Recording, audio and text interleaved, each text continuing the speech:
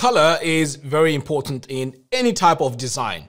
In today's video, I'm going to be talking about how to use color in web design. So I'm going to go through the process of choosing the colors and how to apply your colors in your builder and then show you how to actually build something with the colors that we're going to choose. Now, if you're brand new to web design, this channel is all about marketing and web design. So please do subscribe and hit the bell notification if you want to get notified when I release new tutorials. And also before I begin, if you want to design websites using Divi, if you buy Divi using my affiliate link, I will give you access to my web design formula course that teaches you how to design professional looking websites with Divi. All right, so let's get started and let me show you how to choose colors and how to use colors for your website.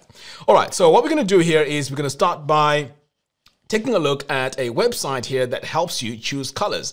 Now, I don't know about you, but most people struggle with this part. For some people, it's a gift that they have that they can just go in and choose colors that work well together. But even for me, I'll have to use a tool like this that helps me generate my colors. All right, so what we're gonna do here is we're just gonna generate our colors here by clicking on generate. So this is gonna give us, you know, random colors. So all we have to do is to hit the space bar and this will just generate colors that work well together. So as you can see, we have different variations of colors. So what I normally do is once I see colors that I like, I would just come in here and make further adjustments. So as you can see, this palette here is very uh, flat. So ideally what you want to do is to have colors that are dark and light because you want to be using the dark colors on the light and the light colors on the dark to enhance the contrast. So if they're all on the same sort of like level, you know, it's going to be bad for your design. So contrast is very important as you shall see throughout this. So over here, I'm also going to make some tweaks. I want to make this colors here a bit dark. So I'm going to increase my saturation here like that. And then over here, let me just see what I can do with this uh, green. Maybe make it a bit lighter. Okay, and over here, we're going to adjust this a little bit as well. So this can go in as a light gray. So I'm pretty much happy with this palette. So as you can see, I have a really dark color here and I have a really light color and I can use these colors interchangeably as I'm designing my site. So what I can do now is once I have all my colors, I would come over here to Divi, come all the way down here and click on theme, no, on theme options. So here is where you'd uh, add your default color palette. So as you can see, I already have colors here. So let me just show you in one example how I would add my colors. So I'm going to use, let's say this green. So I'm just going to highlight this hexadecimal value. And then over here, just click on that and then just paste it. So now I've added my color to the color palette. So once you do that, click on save changes. Now that means I have a base for my colors. The next stage now is to build a page. And every time I build a page and I need to make any changes, add colors and so on, I'm gonna have this very same color palette following me everywhere I go as I design my website. So over here on the pages, I'm just gonna click on add new and I'm just gonna call this page colors. And then uh, click on use Divi Builder. So for this example, we're just gonna build this from scratch. So I'm going to click on start building. And then I'm just going to add three columns here. And let's start with a blurb. So what I'm going to be doing now is to, I'm going to be using the colors that I added earlier on in the previous stage to see how we can come up with a great design here. So let's go for our image and icon. So I'm going to go with, let's just choose any random icon here. So I'm going to go with this speaker here. And then for the design tab, this is where I can start to decide what to use. And you're going to see how I'm going to be using contrast in this example. So in fact, you know what? Let's add a background. So I'm going to start over here with a background. So you can either choose to have a really dark background or a light background. So I'm going to go with a really dark background like that. And then I'm going to come over here to design. And let's start with our icon. So these are the colors that I have so this is the color for my icon. And as you can see, it's blending very well. And because this one, this color here is bright, it really stands out from this dark background. But as you're designing this, you know, you can even choose a color like that. You can choose white. It still works as long as you have great contrast. Another way of uh, testing your contrast is just like squinting your eyes and seeing if you can uh, see that thing that you're supposed to be focusing on. All right, so as you can see with my text here, this doesn't look great. So let's go in and change the color for that. So for this one here, I'm going to go with that and also my description text. Okay, now let's further customize this. Let's say you want to uh, add a circle behind this icon. Let's add our circle. So what color should we add our circle as? So again, you can use the colors that we have here in our color palette. So now I can go with that. So that could work. Or I could use that and that could work really well as well. In fact, you know what? I really like the way this looks. So I'm going to go now and adjust the size. So I'm going to reduce the size a little bit to about, let's say 32. And now to further design this, I'm going to give this some rounded corners. So I'm going to come all the way down here to border and add some rounded corners. So let's go with, let's say 10. And I want to give this some breathing space as well. So to do that, I'm going to go to my spacing. And then over here, I'm going to add 30, top, bottom, and left and right. So you can see now that this is looking way much better than it was before. So one final touch I'm going to do here is to increase my size. And I'm going to change this from light to regular. And I'm also going to change my title here and make it bold. Okay, so I think I'm, I'm happy with that. So as you can see, using my color palette, I was able to go in and choose colors that work well together. But the great takeaway here is I'm actually using contrast to build my design. Let's work on another example. So let's say you want to create a form. So if you go to forms, let's go to contact form. So again, I'm going to use the same principles here about contrast and using our colors. So let's start here by going into design fields. So now I'm going to start working on my fields.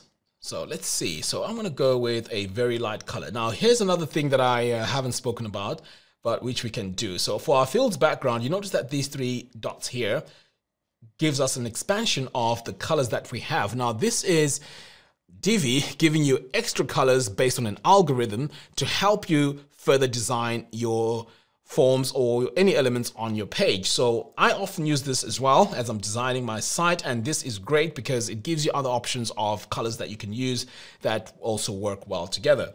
So here I'm going to go with, uh, let's go with a light gray. I'm going to go with that.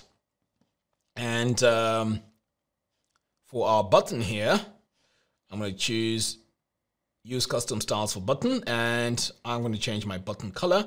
So maybe I want to have my button background to be this blue and the text needs to be white so it's easier to read.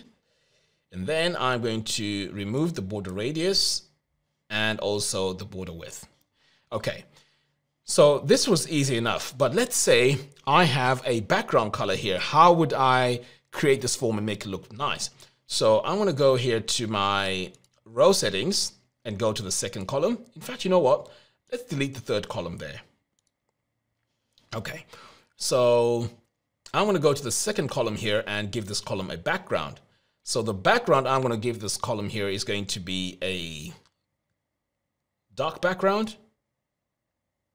But anyway, we've done that example before, so let's go with a light background. So let's go with that.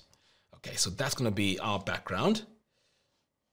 So as you can see now, my colors don't look great here. So this is where we can play around with different design options. So I'm going to save this for now. In fact, before I do that, let me just go in and give this some breathing space by coming over here to design, spacing, and I'm just going to add a bit of padding here as I did before, just to make my form really stand out. All right, so that's my form. I'm going to save that. Now let's go in and design this and see how we can make it look better. So I'm going to click here on design fields So for my fields color, I'm going to get rid of the color itself. And then I'm going to add some borders. But before I go to the borders, let me just add my um, field text color. So I can go with a, maybe this dark gray or medium gray. And now I am going to go to the border.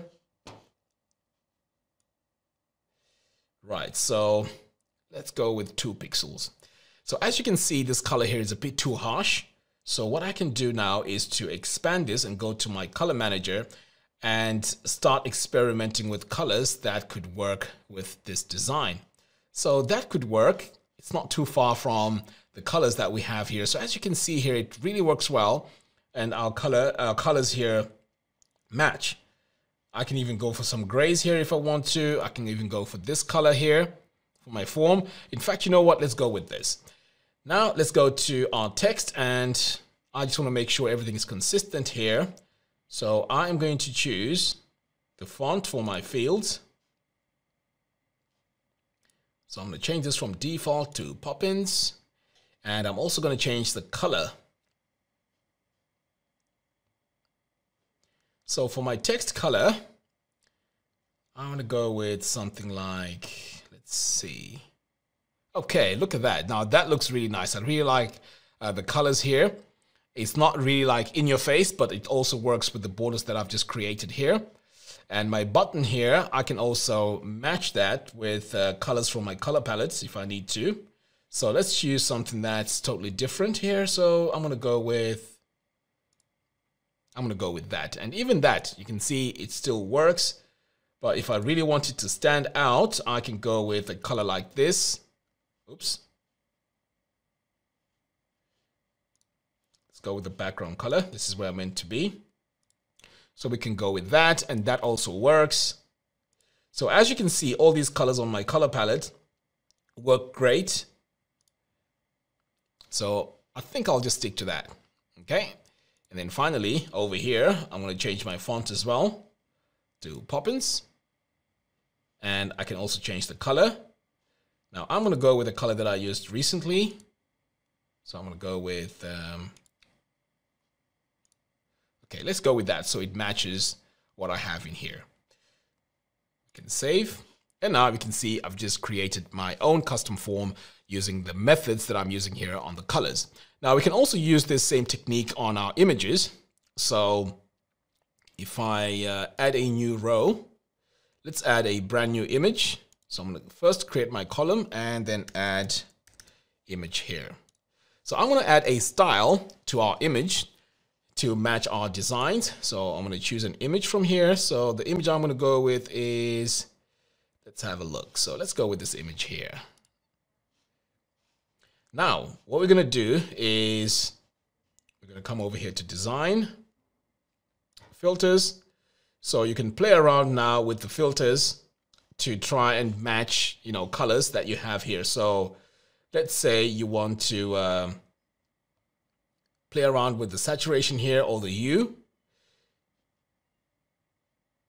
You can try and play around with that to match, you know, whatever colors that you have on your color palette. And this could be a style that you're going to have throughout all your uh, images on your website. And you can copy this style and paste it on all your images on your website.